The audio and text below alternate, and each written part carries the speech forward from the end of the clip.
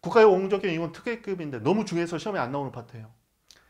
어, 당사자 능력과 당사자 적격 이거는 생략해도 상관없지만 적으려고 하면 이건 압축 서술해야 돼요. 그리고 국가 등의 원구적 계획에 관한 학설보다는 판례를 정확히 적어줘야 됩니다. 판례 키워드를 놓치면 안 돼요. 중대한 불이익 여기 써놨죠. 다른 국가기관의 일반적 조치로 중대한 불이익이 발생한다.